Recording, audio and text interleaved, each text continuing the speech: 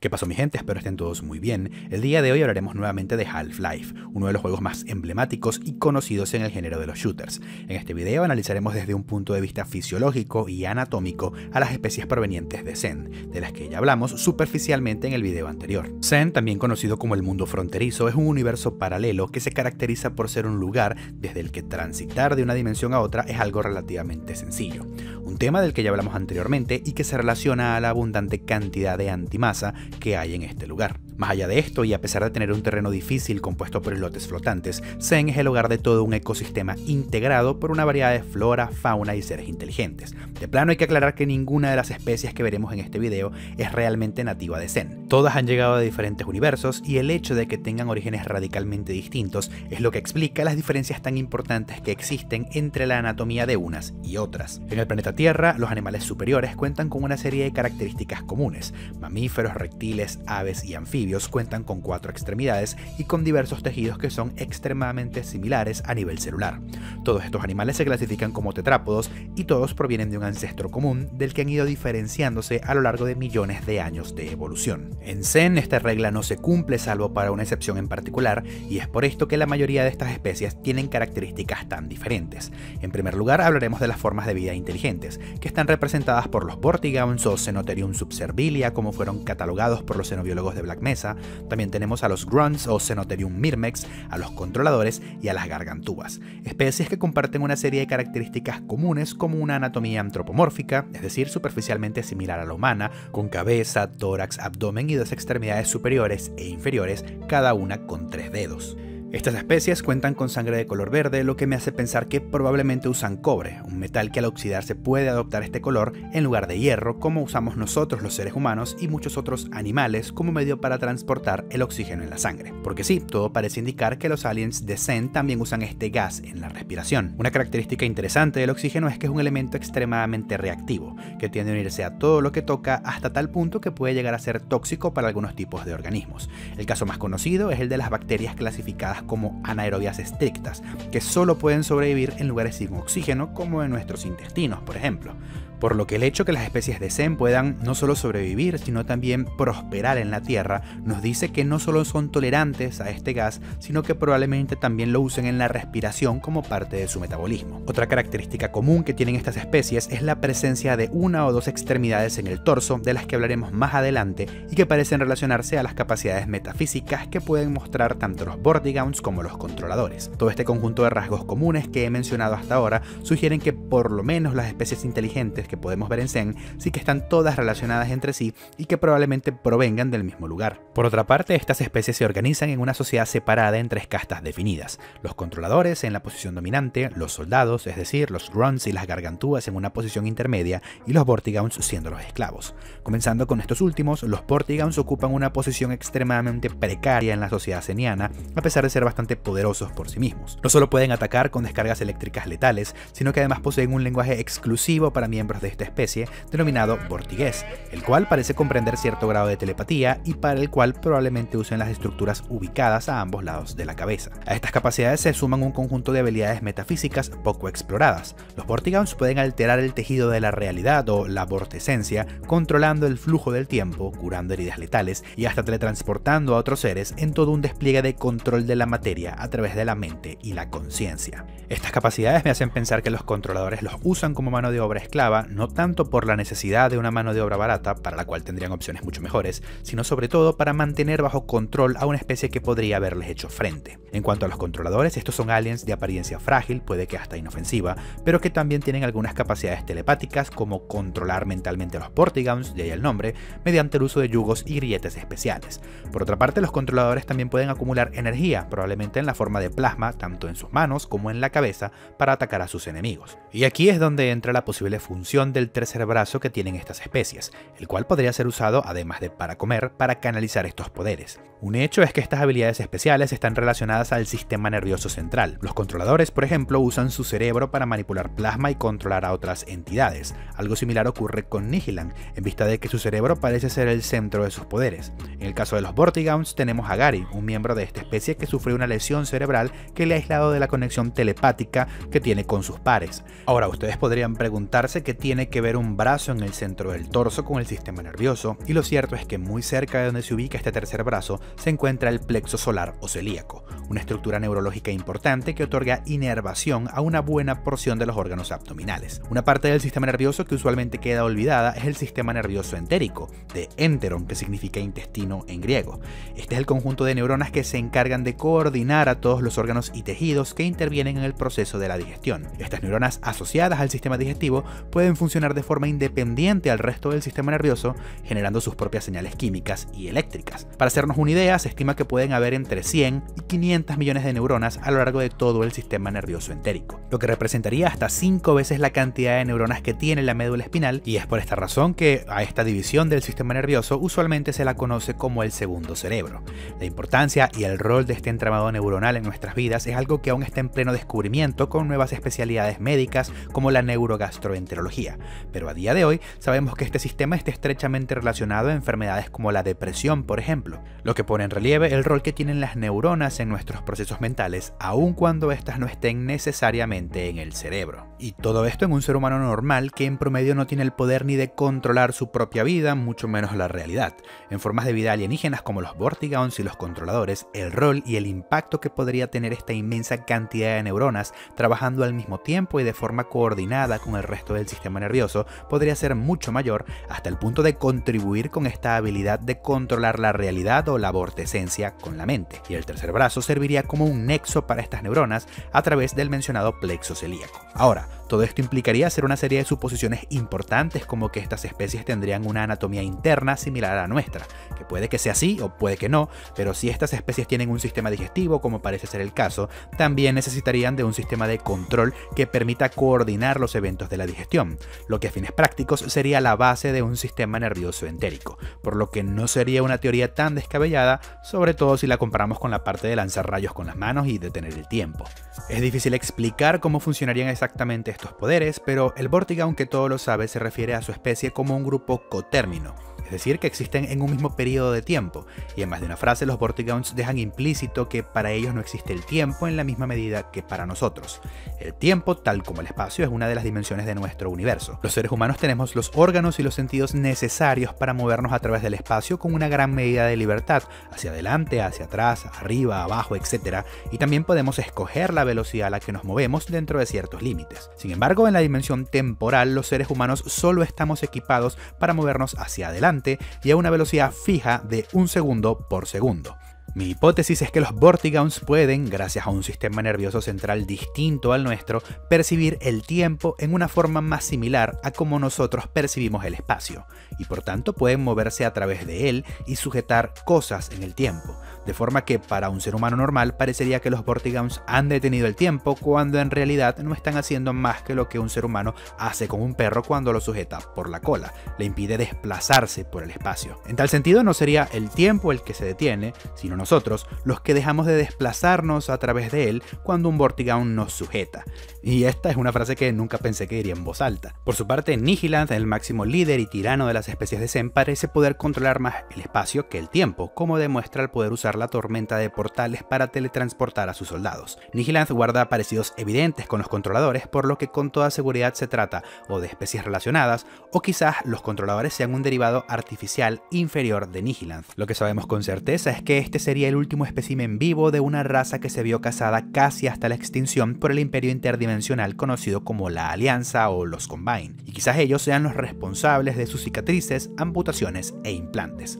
Continuando con la siguiente especie tenemos a los Cenotherium mirmex, grunts o soldados en español, nombre que reciben por ser el principal componente de los ejércitos de Zen. Los grunts son una de tantas pruebas que hay de las capacidades biotecnológicas de esta facción alienígena en vista de que son producidos en masa en instalaciones especializadas para este fin. A diferencia de las especies mencionadas anteriormente, estos no tienen ninguna capacidad exótica más allá de poder aguantar una cantidad importante de daño, gracias en parte a la resistente armadura que portan y a una constitución física imponente Por otra parte, se diferencian también en la anatomía de los miembros superiores, los cuales están dispuestos a modo de pinzas, eso sí, suponiendo que ambos sean iguales. Recordemos que el arma que portan, la Hive Hand, es un ser vivo independiente. Y para compensar la menor versatilidad en sus manos, los Grunts cuentan con un tercer brazo de mayor tamaño y fuerza para alimentarse, lo que nuevamente relaciona este tercer brazo con el sistema digestivo. Nunca se esclarece si estos seres son netamente artificiales, producto de la modificación de alguna especie base como los Vortigauns, o si por otra parte son de origen natural pero han sido sometidos a clonación. Como último representante de las formas de vida inteligentes tenemos a las gargantúas, aunque no sé hasta qué punto se puede emplear ese adjetivo con estos seres que probablemente tengan el mismo origen sintético que los grunts. Estas cuentan con un poderoso blindaje prácticamente impenetrable para armas pequeñas, el cual se acompaña de dos brazos que funcionan a modo de lanzallamas. Antes de elaborar algún sistema biológico innecesariamente complejo capaz de explicar cómo funciona esto, tengo que decir que la verdad creo que es más probable que los brazos lanzallamas de las gargantúas sean algún tipo de arma integrada, tal como es la Hive Hand de los Grunts, y no un sistema fisiológico natural. Lo que me hace creer esto es que se necesitarían toda una serie de órganos y sistemas que sencillamente no están presentes, ni en forma mínima o vestigial en las especies analizadas anteriormente y con las que las gargantúas, en teoría, tendrían algún tipo de relación genética como muestra la similar anatomía de las manos y la presencia de extremidades adicionales a nivel del torso.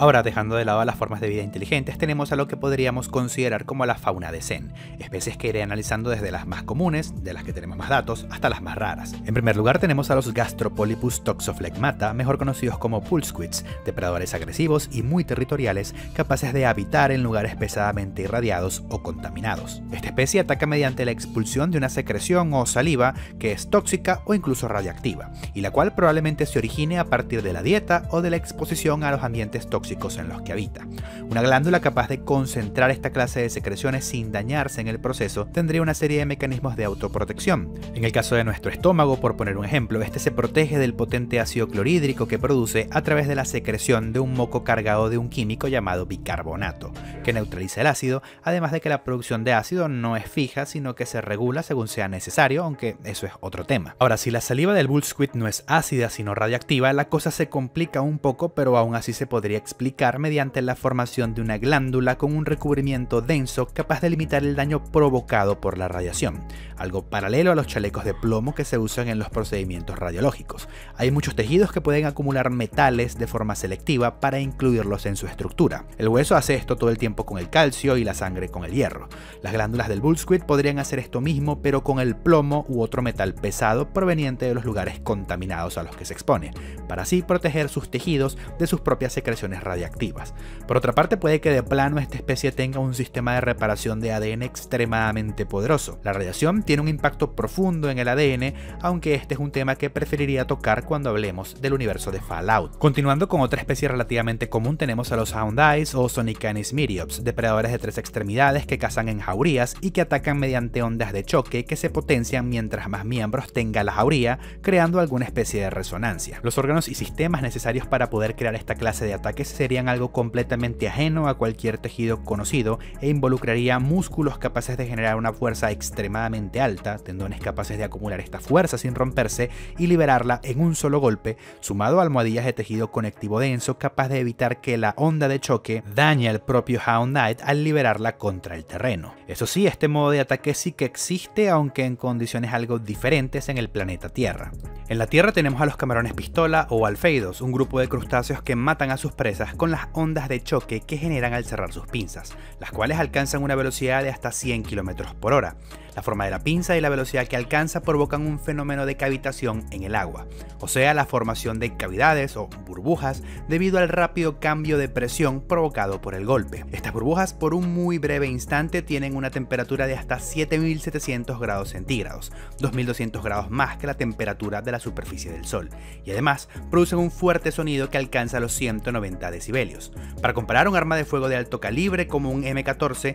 llega a los 160. El ruido producido por estos camarones es tal que llega a interferir con los sonares de un submarino. No es lo mismo que un Hound Eye, pero es lo más cercano que tenemos. La siguiente especie en esta lista es la Quirripedia donaldsonia o lapa, un organismo sésil, es decir, incapaz de moverse por sí mismo, que caza mediante emboscadas. Para esto usa una larga lengua extremadamente pegajosa que al mismo tiempo es selectiva, por lo que puede dejar ir o liberar elementos no comestibles o desagradables. Esto sugiere que probablemente se trate de un sistema de vellos microscópicos capaces de fijarse a cualquier superficie, pero que al mismo tiempo son retráctiles, como las garras de un gato para poder dejar ir a presas indeseables. A pesar de lo común que es este organismo, no hay mucha información con respecto a su comportamiento o ciclo de vida. Nunca los hemos visto en estados de crecimiento intermedios o sin estar fijados a un techo, lo que me hace pensar que quizás tengan un estado de desarrollo anterior en el que son móviles o viven en algún otro nicho ecológico y ya al crecer trepan a un lugar estratégico y se fijan perdiendo su movilidad,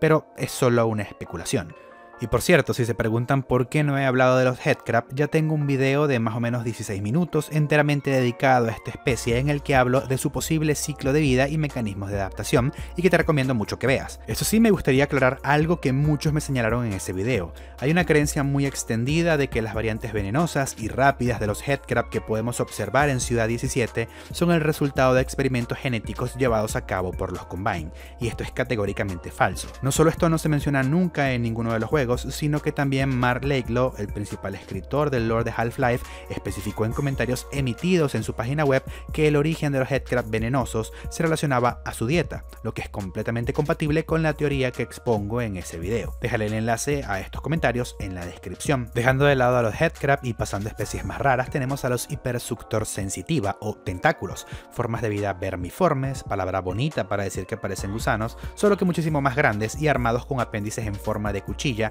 que usan para atacar a sus presas. Y a pesar de tener un ojo claramente visible, estos especímenes se basan sobre todo en alguna clase de ecolocalización para cazar. No solo son capaces de detectar sonidos leves, sino que además están constantemente golpeando el terreno, sondeando la presencia de cualquier presa potencial. Los tentáculos parecen ser solo la porción visible de algún organismo de mayor tamaño que reside bajo tierra, como sugieren los restos que quedan después de destruir el espécimen presente en el laboratorio de prueba de cohetes. Si este es el caso, el número de tentáculos en un lugar podría indicar el grado de desarrollo del organismo subterráneo del que se originan. Siguiendo con otra especie tenemos a los Cenoterus icticanthus, mejor conocidos como ictiosaurios, formas de vida acuáticas, carnívoras y relativamente grandes que habitan en las aguas de Zen, aunque se pueden encontrar varios especímenes capturados en Black Mesa.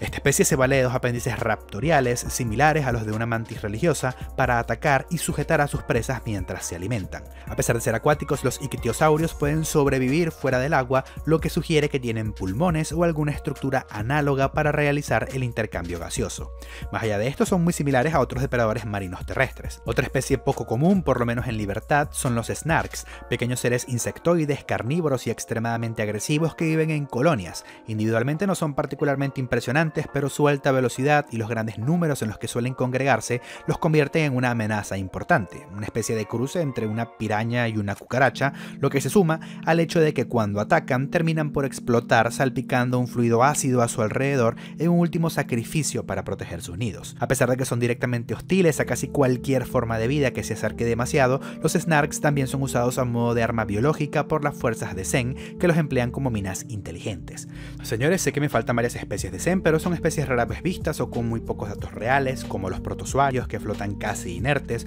o los voids que vuelan en bandadas y que probablemente sean la base para las naves vivientes que usa el ejército de Nihiland. Por lo que prefiero dejar el video hasta aquí y probablemente hable de las especies que faltan cuando haya más información, quizás después de que salga Half-Life 3 o cuando pueda jugar a Half-Life Alyx. Con respecto a las hormigas león, creo que se merecen su propio video aparte, quizás antes o después de hablar de la invasión Combine. En cualquier caso, espero que les haya gustado el video, si es así recuerden que pueden apoyarme dándole de comer al algoritmo con un comentario mediante la función de miembros de YouTube o a través de Patreon. Agradecimiento muy especial a quienes ya me apoyan por estos medios que me permiten seguirme dedicando a esto. Yo me despido mi gente y nos vemos en el siguiente video.